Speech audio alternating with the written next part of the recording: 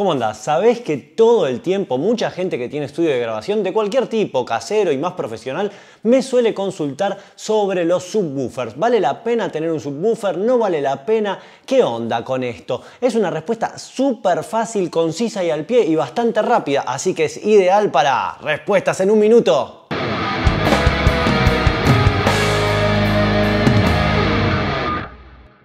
La respuesta es súper fácil, siempre te conviene agregar un subwoofer a tu estudio, incluso si tenés monitores de 3 o 4 vías que reproducen graves mucho más potentes, con mayor volumen, más definición, más gordos. Ten en cuenta que el subwoofer trabaja con frecuencias más graves a las cuales no llegan tus monitores normales, incluso si son de 3 o 4 vías. Esto te va a permitir cubrir un rango de frecuencias más amplio y va a descargar el trabajo que suelen hacer tus monitores satélite. El resultado inmediato de esto va a ser que las frecuencias medias y agudas en las cuales se van a enfocar más tus monitores satélite, sean de 2, 3, 4 vías, van a ser mucho más definidas y esto va a lograr ampliarte todavía mucho más el campo estéreo. Además vas a poder percibir que tus monitores te van a dar más volumen ya que van a estar trabajando mucho más cómodos y esto los hace más rendidores. Lo que sí es fundamental es que el subwoofer esté bien configurado, es decir, que tengas bien seteado el punto de crossover y todos los demás filtros que vienen incluidos que van a variar según la marca. Para esto vas a necesitar realizar mediciones profesionales. Recordá también que la ubicación del subwoofer es fundamental para así lograr el mayor rendimiento posible. No siempre el lugar donde queda lindo y bonito es el lugar correcto donde te va a rendir bien en materia de audio.